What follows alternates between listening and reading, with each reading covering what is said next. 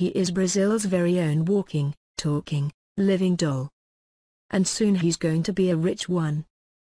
Despite spending £30,000 morphing himself into a human version of Barbie's boyfriend Ken, Celso Santebanes is set to rake it all back and more, with his own line of Celso dolls. The 20-year-old Brazilian, who behaves like a puppet, has had four operations on his nose, chin and jaw, plus silicone implants in his chest, to look like Barbie's boyfriend. Sharing pictures of him and his mini-me on Instagram, he gushed, I went to the city to become a model. I never expected to have a toy myself. I dreamt of being a human puppet, but having one in my image was completely unexpected.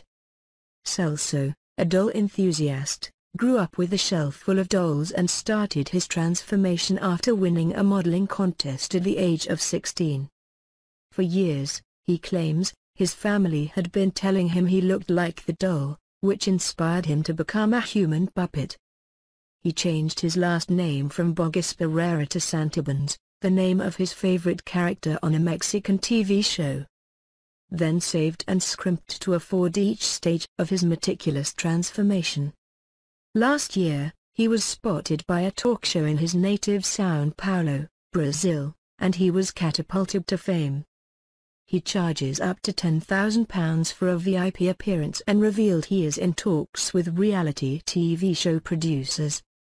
Now he is preparing to travel to Los Angeles next month to launch the Celso doll. In an interview with a Brazilian paper he said, This is also magical. My life has changed.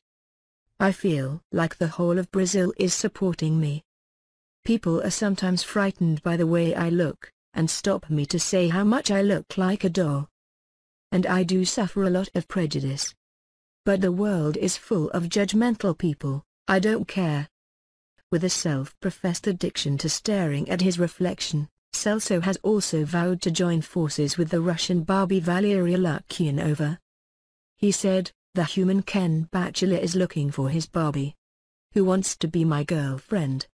After all no one happy alone.